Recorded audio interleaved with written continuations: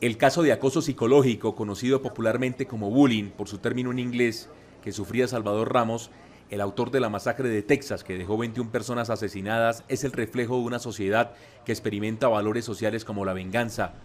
Para el exsecretario de Seguridad de Bogotá, Hugo Acero, el caso es mucho más profundo y se explica en la cultura del racismo y xenofobia que se promueve en Estados Unidos. Se ha venido incrementando este tipo de hechos, particularmente después del gobierno Trump.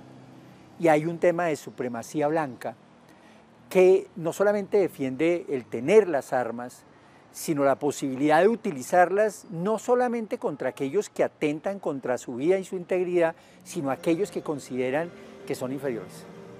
En Colombia, el Ministerio de Defensa reconoce que más de 700.000 ciudadanos tienen porte y tenencia de armas, pero según estudios académicos, las cifras pueden llegar a 3 millones de personas armadas, que incluye las armas ilegales que tienen organizaciones criminales, la seguridad privada y personas naturales.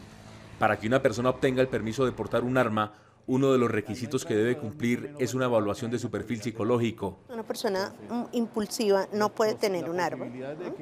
Una persona que tenga unas características de personalidad que se llaman histriónicos, es decir, que eh, les gusta llamar la atención. Una persona narcisa, persona que se cree que es mucho más que los demás, son personas que no debería dársele esa oportunidad, si se le puede llamar oportunidad, de tener un arma. Eh, porque son fácilmente aquel que la va a usar sin temor, en cualquier momento y ante lo que sea, porque el arma da poder.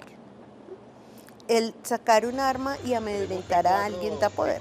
Yo no le puedo entregar un arma a una persona que está depresiva, una persona que tiene, por ejemplo, algún tipo de situación de paranoia, que siente que lo persiguen, eh, que se siente amenazado todo el tiempo. En la década de 1980, cuando Colombia vivió una de las épocas más sangrientas del conflicto armado, la tasa de homicidio llegó a la cifra de 68 por cada 100.000 habitantes, registrando 30.000 homicidios al año.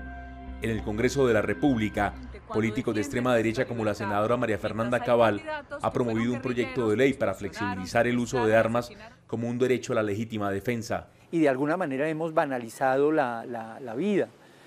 Eh, hay una defensa más fuerte de la propiedad, ¿no?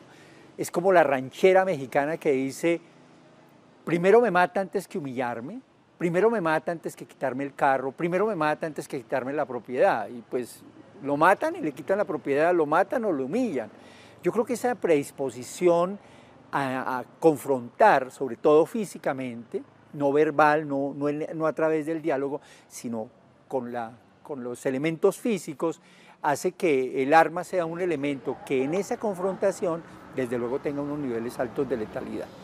En comparación con Estados Unidos y Canadá, según cifras del Banco Mundial, Colombia tiene 20 personas por cada 100.000 habitantes con porte de armas, que es 10 veces menor comparada con los dos países, pero su tasa de homicidios es la quinta más alta de América Latina y el Caribe. Tenemos un conflicto armado que si bien con el proceso de paz tendió a disminuir, estamos en un momento álgido en ese, en ese instante, pero además ese conflicto armado no se queda en la ruralidad ni en las zonas aisladas, ni es puro.